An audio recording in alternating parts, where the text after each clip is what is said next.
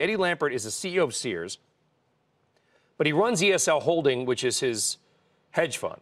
So he's trying to sell part of Sears, a company he controls, to himself. He owns 48% of Sears, and he is their biggest debt holder.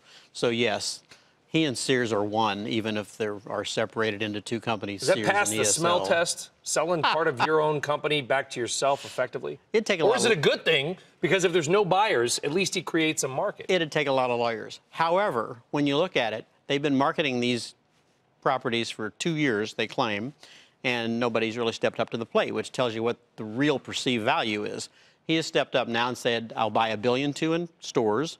I'll give you 500 million for Sears Direct and Home Improvement, and probably another 500 million for Kenmore, though that wasn't in the numbers. We used to think Kenmore was worth a billion, by the way. Now we think it's worth 500 million.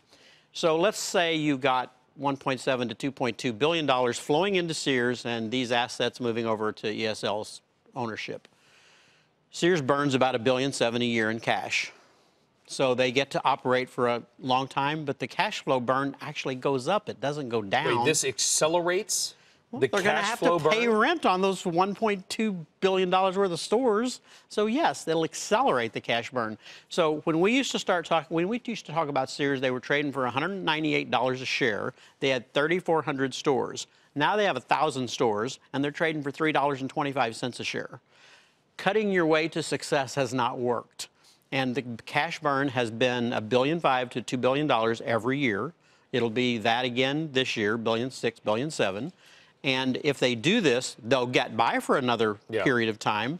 But as I say all the time, they sell assets, they take the money, they put it in the furnace and send it up the flue. Well, they Hey there, thanks for checking out CNBC on YouTube. Be sure to subscribe to stay up to date on all of the day's biggest stories. You can also click on any of the videos around me to watch the latest from CNBC.